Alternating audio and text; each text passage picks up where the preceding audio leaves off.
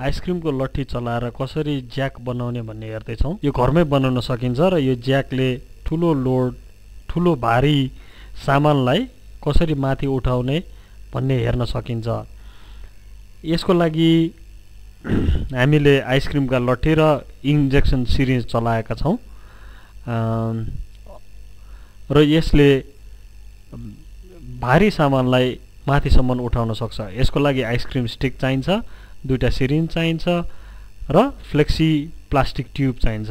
पहिला एउटा सिरिन्जमा प्लास्टिकको ट्युब जोडौँ अनि त्यसमा रङ राखेको पानी भरौँ। त्यो रङ राखेको चाहिँ हामीले पानी सरेको हेर्नलाई हो। त्यसपछि अर्को टु टुप्पामा फेरि अर्को सिरिन्ज राखौँ। त्यसपछि यताबाट पानी उता सारेर र पानी यता तानेर हेरौँ। यसले हेर्दाखेरि पनि एकतिरको धकाइले अर्कोतिर पनि गर्दछ। त्यसपछि त्यो आइसक्रिम स्टिकमा सियो अलि मोटो सियो लिएर तिन तिनवटा पुवाल पारौँ। यसरी आठवटामा पुवाल पारौँ तिन तिन ठाउँमा। अनि बिचको भागमा कपरको तार कुनै पनि तारबाट निकालिएको भित्रपट्टिको कपरले जोडौँ। त्यो नखसोस् भनेर अलिकति घुमाउँ पनि र अलिकति टाइट बनाइदिउँ त्यसलाई कैँचीले या अरू कुनै सामानले। यसरी चल्छ कि चल्दैन भनेर चेक गरौँ। यसरी चलेपछि ठिक भयो। त्यसरी जोड्दै जाउँ। अब साइड साइडको जोडौँ र यसरी चलाएर हेरौँ। यो चलिसकेपछि दुईवटा बनाऊ एउटा काठको कार्डबोर्डको टुक्रा माथि टाँसौँ होइन? अनि त्यो सबैभन्दा माथिकोमा चाहिँ अलिकति लामो पुवाल काटौँ।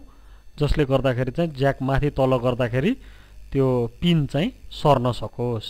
र सिरिन्जलाई यसरी राखौँ। त्यो सिरिन्जले धकाल्न सक्नको लागि सानो काठको टुक्रा त्यो एसेम्ब्लीको तलपट्टि राखौँ अनि त्यसपछि त्यो सिरिन्जलाई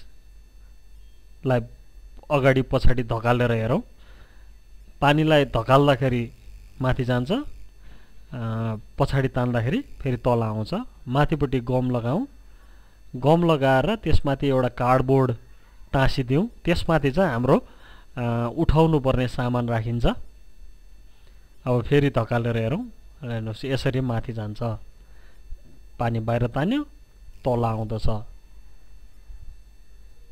यो ज्याक भयो। यसमा के गरिराखेको छ? हामीले थोरै बल प्रयोग गरेर ठुला ठुला सामानलाई उचाइसम्म पुर्याउन सक्दछौँ। कुनै एउटा सामानहरू राखेर हेरौँ यसले माथि तल गराउँदछ।